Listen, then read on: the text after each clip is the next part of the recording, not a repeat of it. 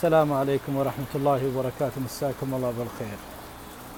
دائما أكثر الشباب يقول طريقة تبذير البذور آه، لازم تكون داخل بتموس أو برلايت وتكون يضع لها الماء فقط.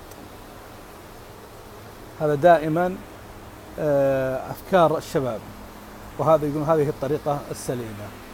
طيب هل إذا أنا بذرت مع أشجار عمرها ثلاث شهور أو أربع شهور بذرت معها. علما أن الأملاح تصل إلى 1300 1400 هل ينجح؟ الجواب نعم. يصلح وهذه النتيجة. النتيجة هذه عندي الكوسة والخيار. بذرته داخل النظام. اللي بآخر المحمية هذاك وكانت أملاحه من 1250 إلى 1400 ونجحت. طبعا ما هي هذه أول مرة. أنا العام الماضي أو قبل العام نفس الطريقة مجربها وناجح 100% لكنني آه، ما آه، سويت لها فيديو. فاليوم راح سويت لها هذا الفيديو خاص بهذه المسألة.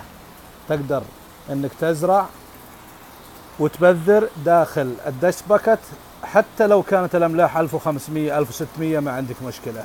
ينجحن وهذا نجاحهن. هذا هو هذا النظام كله نفس الطريقة. وإن شاء الله بإذن الله راح تكون بعد 20 يوم يكون روح تصوير فيديو ثاني غير هذا يوضح نجاح آه، التبذير داخل الأنظمة الأخرى حتى لو كانت املاحها عالية.